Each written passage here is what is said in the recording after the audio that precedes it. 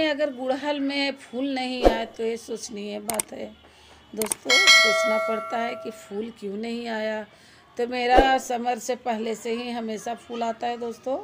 अगर किसी का भी प्लांट हो और फूल नहीं आ रहा है तो आपको मैं एक उपाय बताती हूँ कि इसमें आपको सबसे पहले पाँच टिप्स इसके लिए दूँगी।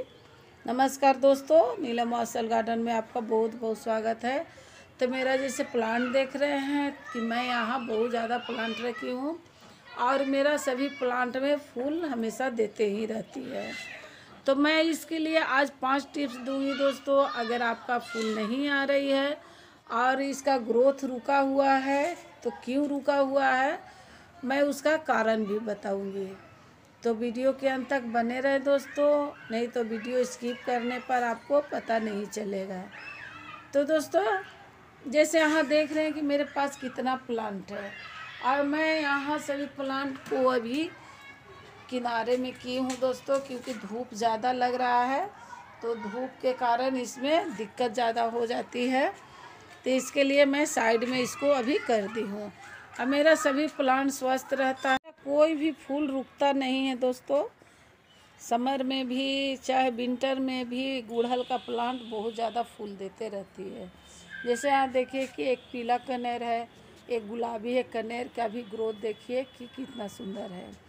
तो मैं इसके लिए आज पाँच टिप्स देने चाहती हूँ कि अगर आप लोग भी लगाए हैं तो इसका विकास कैसे हो, इसमें फूल कैसे आए और ज़्यादा से ज़्यादा मात्रा में आपका फूल कैसे रहे। तो दोस्तों, जैसे देख रहे हैं कि यहाँ कितना ज़्यादा इसमें ग्रोथ लिए हुए हैं। इसका ग्रोथ देखिए दोस्तों कि कितना ज़्यादा इसको अगर पूरा तरह से अभी तैयार नहीं हुआ है। अगर ये तैयार होगा तो कितना ज़्यादा इसमें कली फूल भरता है। तो मेरा सभी प्लांट इसी तरह से रहता है। तो मैं भी चाहती हूँ कि आप लोग का भी प्लांट बहुत अच्छा हो, बहुत सुंदर हो। और हमेशा फूलों से गमला भरा हुआ रहे। तो जैसे देखिए यहाँ। तो दोस्तों, सबसे पहला चीज़ है कि अगर अभी समर में आप इसको तैयार करना चाहते हैं तो कैसे तैयार करेंगे? तो सबसे पहला काम होता है कि समर जैसे ही आता है आपको, वैसे आप इसको प्रूनिंग करना शुरू कर दीजिए। अगर आपका छोटा प्लांट है तो छोटा ही कीजिए, लेकिन प्रून करना ज़रूरी होता है। जैसे प्रूनिंग के मतलब कैसे हुआ? जैसे देखिए कि यहाँ ये प्लांट है। तो अगर आपका छोटा प्लांट है तो इतना सा कीजिए, इतना कीजिएगा तो यहाँ जैसे देखिए कितना लेयर भाग रहा है तो इसका घनत्व तो कितना ज़्यादा होगा।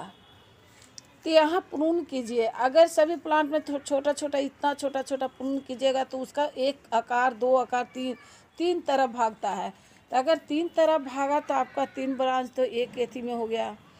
तो आपको इसी तरह जैसे यहाँ ही देखिए ना, मैं यहाँ प्रून की हूँ, यहाँ कट की थी। देखिए, इसका ब्रांच दो तरफ़ इधर आया और एक नीचे की ओर है और यहाँ देखिए कि कितना भाग रहा है। तो इसका कितना ज़्यादा लेयर भाग जाएगा। तो इस तरह से प्रूनिंग करना सबसे पहला ज़रूरी है।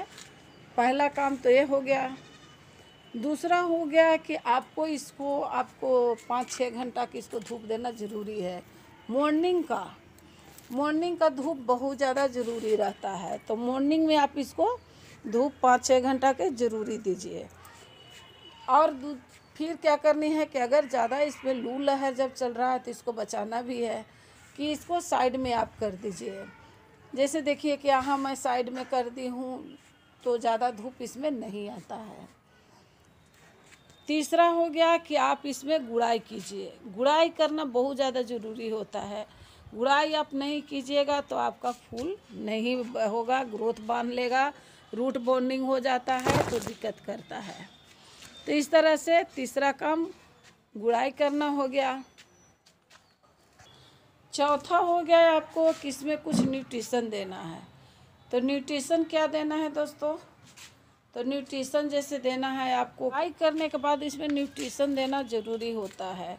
तो चौथा काम न्यूट्रिशन है। तो न्यूट्रिशन का मतलब है कि भरपूर मात्रा में इसको खाद दिया दीजिए। भरपूर मात्रा में खाद दीजिएगा तभी इसमें ग्रोथ फूल सभी आएगी। तो दोस्तों, इसमें क्या करना है कि आप सबसे पहले गुड़ाई करने के बाद एक दिन छोड़ दीजिए और छोड़ने के बाद इसमें आपको दो मुट्ठी गोबर की खाद, थोड़ा सा डीएपी और थोड़ा सा एक चम्मच पोटास और थोड़ा सा एक चम्मच सूखी हुई चाय की पत्ती। मिलाकर आप इसको जब देते हैं तो रिंग नुमा जैसे यहाँ देखिए, मैं दिखा कर बताती हूँ। इस तरह से देखिए, मैं कल ही इसमें न्यूट्रिशन डाली हूँ।